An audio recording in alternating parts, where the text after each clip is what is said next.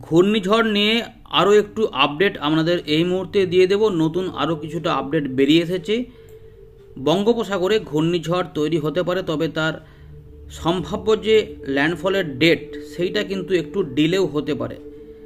দ্বিতীয় সপ্তাহের একদম শেষে অথবা তৃতীয় সপ্তাহের প্রথম দিকে এইটি স্থলভাগে আছড়ে পড়তে পারে, এমন সম্ভাবনা উঠে আসছে। অর্থাৎ টাইমটা একটু এদিক ওদিক হতে পারে। এই সময়কালের মধ্যে বিভিন্ন জায়গাতে আরও সিস্টেম থাকবে। ফলে একদম যে সুপার সাইক্লোন হবে সেটা নাও হতে পারে। কারণ আপনারা যদি দেখেন, এখানে এই একটা সিস্টেম দেখালাম আরও একটু দেখুন ভারত মহাসাগরে আরও একটি সিস্টেম থাকছে। এই একটি।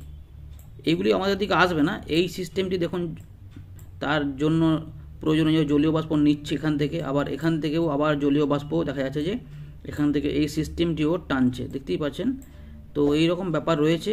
আর এই দিকে আরেকটা রয়েছে। সেটাও কিছুটা এদিক এদিক ওদিক টানবে। ফলে তিনটে সিস্টেম কাজ করার জন্য এটি একদম যে আমফানের থেকেও ভয়ানক হবে সেরকম ব্যাপার নয়। সম্ভবত একশো থেকে দেড়শোর কাছাকাছি কোনো একটি গতিবেগে এটা আছড়ে পড়তে পারে। এরকম একটি সম্ভাবনা কিন্তু উঠে আসছে। এর ফলে বজ্রবিদ্যুৎ এবং তার সঙ্গে বৃষ্টিপাত, ঝোড়ো হাওয়া সবই থাকবে। তবে এটা কোন উপকূলে আছড়ে পড়বে, এই নিয়ে এখনও রকমের পুরোপুরি আপডেট পাওয়া যায়নি, কোনো কিছুই ফাইনাল নয়।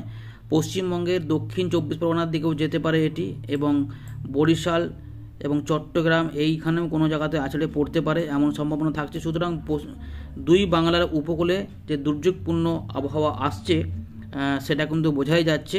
মে মাসের দ্বিতীয় সপ্তাহ থেকে এটা যেতে পারে। দেখুন, এটা আমরা যদি একটু ট্র্যাকটা করি, তাহলে দেখবেন যে এটা কিন্তু ধীরে ধীরে যখন এগোবে, এটা চলে আসছে চোদ্দ তারিখ। দেখুন, এই যে লেখা রয়েছে চোদ্দ পাঁচ দু অর্থাৎ দ্বিতীয় সপ্তাহের শেষের তারিখে এই জায়গাতে অবস্থান হতে পারে।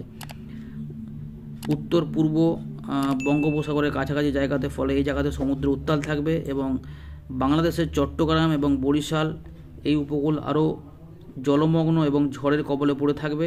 পশ্চিমবঙ্গ এর প্রভাবে ঝড় বৃষ্টি হবে, এটা দেখুন, আমরা দেখতে পাচ্ছি যে চোদ্দ তারিখের পর আরও যেটা একটু ডিলে করাচ্ছে, নতুন আপডেটটা উঠে আসছে, এটা পনেরো তারিখের দিকে দেখা যাচ্ছে যে উপকূলের কাছে চলে যাবার সম্ভাবনা।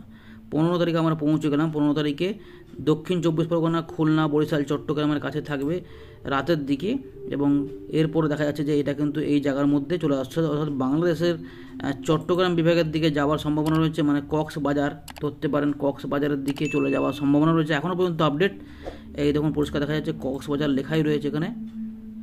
দেখুন আমরা একটু, আরেকটু জুম করে দিচ্ছি। কক্স বাজার পরিষ্কার দেখা যাচ্ছে হয়তো এখানটায়, এই যে এখানটায়, কক্স বাজার, দেখতেই পাচ্ছেন এখানে। এই কক্স বাজারে এটা চলে যাওয়ার সম্ভাবনা রয়েছে। সুতরাং বাংলাদেশের এই জায়গাটাতে এটা আছড়ে পড়ার এখনও প্রবল সম্ভাবনা রয়েছে। যেহেতু এগুলো একটু আমাদের বারবার বলছিলাম যে এটা উত্তর পূর্ব দিকেই কিন্তু জন্ম নেওয়ার পর থেকে একটু উত্তর পশ্চিম দিকে এসে বাঁক নেওয়ার চেষ্টা করবে ফলে এই জায়গাতেই আছড়ে পড়ার কিন্তু একটা সম্ভাবনা থাকবে। এটার প্রভাবে যদি আমরা দেখি যে কীরকম গতিবেগ হবে, যখন এখানে আছড়ে পড়বে ঝুঁকে যাবে মানে ল্যান্ডফল করে যাবে, তখনও কিন্তু একশো কিলোমিটার উপরে গতিবেগ থাকার সম্ভাবনা রয়েছে এবং উইন্ড গাস্ট যদি দেখি, তাহলে সেটা আরও বেশি থাকবে, অনেকটাই বেশি থাকবে। তো এই জায়গাতে দেখুন, একশো চল্লিশ থেকে একশো পঞ্চাশের কাছাকাছি, চৌষট্টি, পঁয়ষট্টি পর্যন্ত উইন্ড গাছ তার মানে সমুদ্রে যখন থাকবে, তখন এই গতিবেগ আরও ভয়ঙ্কর গতিবেগ থাকবে। এরকমই কিন্তু সম্ভাবনা থাকছে আশি পঁচাশি ছাড়িয়ে যাচ্ছে। অর্থাৎ দুশো কিলোমিটারের পর্যন্ত কাছাকাছি গাস্টিং নিয়ে কিন্তু এটা উপকূলের কাছে চলে আসবে। তখন এবারে দেখুন এর প্রভাব কিন্তু একদম জলপাইগুড়ি, আলিপুরদুয়ার, কোচবিহার, তার সঙ্গে মালদা, বীরভূম, মুর্শিদাবাদ, নদিয়া, বর্ধমান, পশ্চিম বর্ধমান, হুগলি, কলকাতা, দুই চব্বিশ পরগনা, এছাড়া বাংলাদেশের রাজশাহী, ঢাকা বিভাগ, বড়ি এখানে সিলেট বিভাগ, তার সঙ্গে খুলনা, বরিশাল, চট্টগ্রাম বিভাগ তো থাকছে। এখানে কিন্তু ভয়ঙ্কর ঝড় বৃষ্টি এবং অস্থায়ী বন্যা এবং প্রচণ্ড ঝড় বৃষ্টির ফলে এই উপকূলীয় অঞ্চল কিন্তু লণ্ডভণ্ড হতে পারে। তাই এই উপকূলে যারা সমস্ত মানুষরা বসবাস করেন, অবশ্যই সতর্ক হতে থাকুন এবং মাথায় রাখুন যে আসছে আর কি। দ্বিতীয় সপ্তাহেই দুর্যোগ আসছে এবং ত্রিপুরাতে যেখানে হয়তো অনেক জায়গাতে বৃষ্টিপাত হচ্ছে না বলে অনেকে বলছেন, তো এবারে কিন্তু এই, এর ফলে কিন্তু প্রচণ্ড ঝড় বৃষ্টি হবে। কাঁচা বাড়িগুলির ক্ষতি হতে পারে, জলমগ্ন হতে পারে, ফসলের ক্ষতি হবে। এটা কিন্তু পরবর্তী ক্ষেত্রে দেখবেন যে আসাম, মেঘালয়ের দিকে বৃষ্টিপাত ঘটাবে, ঝোড়ো হাওয়া থাকবে। দেখুন, এই যে পরিষ্কার দেখা যাচ্ছে মিজোরাম, মণিপুর, নাগাল্যান্ড, ত্রিপুরার দিকে এর প্রভাবে কিন্তু ঝড় বৃষ্টি হওয়ার সম্ভাবনা যে ধীরে ধীরে তখন এটা কিন্তু এইভাবে উঠে যাবে। আমি প্লে করে দিচ্ছি। দেখুন, এই যে এই যে, এই জায়গাতে ত্রিপুরা এবং মিজোরাম, তার সঙ্গে চট্টগ্রাম উপর দিয়ে এটা কিন্তু উপর দিকে উঠে যাওয়ার সম্ভাবনা কিন্তু থাকছে। এটাকে আমরা আরেকটু ট্র্যাক করছি না। এইটুকু পর্যন্ত আপডেট পাওয়া যাচ্ছে কি? আর পরে এরপর আর আপডেটটা পাওয়া যাচ্ছে না। তার মানে এটা কিন্তু ডিলেই হচ্ছে। বুঝতেই পারছেন? তো এতটা পাওয়া যাচ্ছে এখানে চলে যেতে পারে। এবং এর প্রভাবে অনেকটাই বৃষ্টিপাতের কিন্তু চান্স থাকবে এখানে দেখুন, প্রচুর পরিমাণে কিন্তু এখানে বৃষ্টিপাত হবে, বুঝতে পারছেন? তো তার আগে থেকে কিন্তু আমরা দেখব যে পশ্চিমবঙ্গেও এরকম বৃষ্টিপাতের প্রভাব থাকবে। সব জায়গাতেই দেখুন বৃষ্টিপাত কিন্তু আসছে। অর্থাৎ যেটা বোঝা যাচ্ছে যে ভয়ঙ্কর ঘূর্ণিঝড় মোচা তৈরি হচ্ছে এবং সেটার প্রভাব সম্ভবত পশ্চিমবঙ্গের তুলনায় বাংলাদেশে বেশি হতে পারে। মায়ানমার, বাংলাদেশ এবং এই উপকূলগুলো কিন্তু প্রচণ্ড ঝামেলা ঝামেলার মধ্যে থাকবে এবং আন্দামান, নিকোবর দ্বীপপুঞ্জেও থাকবে। তো এইভাবে যদি আমরা আরেকটু ব্যাক করি, তাহলে দেখা যাবে যে উত্তর বঙ্গোপসাগর এবং উত্তর পূর্ব বঙ্গোপসাগর এবং পূর্ব মধ্য বঙ্গোপসাগরেই কিন্তু সবথেকে বেশি সমর্থ আছে। তবে এখনও পর্যন্ত কিছু কিছু পাল্টাবে, কারণ এই জায়গাগুলোতে তাপমাত্রা বাড়তে পারে। চল্লিশ, একচল্লিশ হয়ে যেতে পারে, তখন কিন্তু এটা আরেকটু বাঁ দিকেও মানে এদিক দিয়ে সরে যেতে পারে। সেক্ষেত্রে দক্ষিণ চব্বিশ পরগনার দিকেও এটা আছড়ে পড়তে পারে। এখন পর্যন্ত যেটুকু আপডেট আমরা পেলাম, সেটা আমাদের জানিয়ে দিলাম।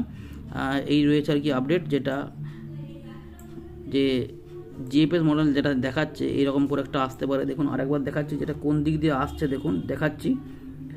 এটা কবে থেকে ফরমেশন হচ্ছে, নতুন আপডেটটা কি বলছে, আমরা আরেকটু ব্যাক করে যাচ্ছি।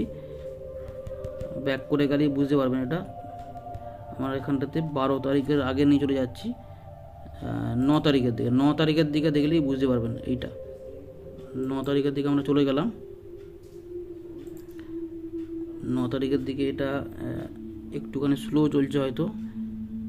ন তারিখের দিকে দেখুন, ন তারিখে চলে এলাম। তো ন তারিখের দিকে এই জায়গাতে অবস্থান করবে। এবার আমরা এটাকে প্লে করছি। দেখুন, দেখতে থাকুন কীভাবে এটা যাচ্ছে এবং দেখুন, একসঙ্গে পরিষ্কার দেখা যাচ্ছে এই একটা সিস্টেম এই একটা সিস্টেম এই একটা সিস্টেম তিনটে রয়েছে। এও জলীয় বাষ্প টানছে, এও জলীয় বাষ্প টানছে। যদি এই নিচেরটা না থাকতো, তাহলে কিন্তু এটা আরও শক্তিশালী হয়ে যাওয়ার সম্ভাবনা থাকতো। এইভাবে এটা দশ তারিখের দিকে এই জায়গাতে অবস্থান করতে পারে। গভীর নিম্নচাপ হয়ে যাবে এই সময়তে। এরপর থেকে এটা শক্তি বাড়াতে থাকবে। অর্থাৎ ঘূর্ণিঝড়ের একে একে ধাপ কিন্তু পেরোতে থাকবে। বুঝতেই পারছেন তো, এইভাবে একশো পঞ্চাশ কিলোমিটার পর্যন্ত গতিবেগ এটা ছুঁয়ে ফেলতে পারে, সম্ভাবনা রয়েছে। এইভাবে কিন্তু এটা দেখুন যাচ্ছে। পরিষ্কার দেখতেই পাচ্ছেন, এটা উপর দিকে উঠছে আস্তে আস্তে। প্রথম দিকে এটা উত্তর দিক দিয়ে যাবে, তারপরে সেটা ডান দিকে, একটু উত্তর পূর্ব দিকে ধীরে ধীরে বাঁক নেবে আর কি। পরিষ্কার দেখতেই পাচ্ছেন, এটা আরও যাচ্ছে আস্তে আস্তে। আমাদের পুরো ট্র্যাকটাকে দেখাচ্ছি লেটেস্ট যে ট্র্যাকটা বেরিয়ে এসেছে, সেই ট্র্যাকটা আপনাদের দেখাচ্ছি। এইভাবে এটা বৃষ্টিপাত নিতে নিতে এগোবে, আমরা যদি এটাকে একটু বায়ু গাছটাই ফেলে দিই, তাহলে আরেকটু বোঝা যাবে। দেখুন এই এরিয়া জুড়ে কিন্তু এটা যাবে আর কি। বারো তারিখের দিকে এইখানে চলে আসবে। অর্থাৎ একটু ডিল, যেটা বলছিলাম যে বারো থেকে তেরোর মধ্যে চলে আসতে পারে, কিন্তু বারো তারিখের, তেরো তারিখের দিকে এখানে অবস্থান করতে পারে আন্দামান সাগর, আন্দামানের উপর উত্তর দিকে আর উত্তর পশ্চিম দিকে।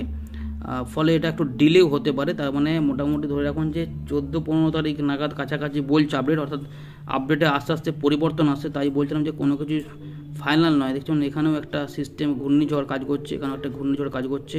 এখানে টাইফুন এবং এখানে সাইক্লোন তো দু জায়গায় দুই রকম বলে আর কি। তো এটা ধীরে ধীরে দেখা যাচ্ছে যে